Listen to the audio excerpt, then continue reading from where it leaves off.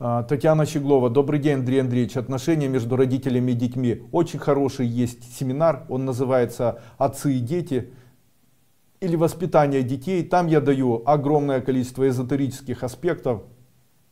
Что происходит между родными и детьми, что происходит между отцами и детьми и так далее. Могу сказать по поводу конфликтов, которые возникают.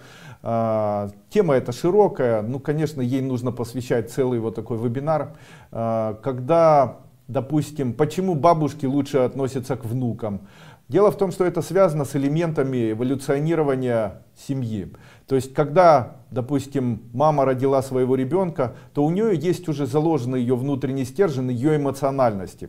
Заложенный внутренний стержень ее пороков и заложенный внутренний стержень ее минусов, которые она воспринимает для себя как негативные качества ее души или ее воспитания. То есть, если человек, допустим, говорит, э, если человека воспитали так, что он агрессивный, матерится, то он хочет воспитать в ребенке возможность, чтобы он хорошо разговаривал, не матерился и был очень интеллигентным человеком.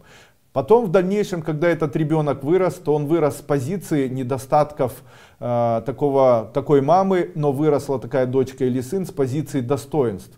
То есть те недостатки, которые были у человека, они проявились в виде достоинств у отца или, э, вернее, у сына или дочки.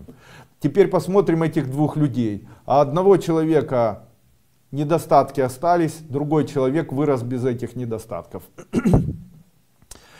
Они друг друга будут бесить, потому что недостатки одного стали достоинством другого, после чего этот человек начинает беситься, и очень часто они бесятся друг на друга.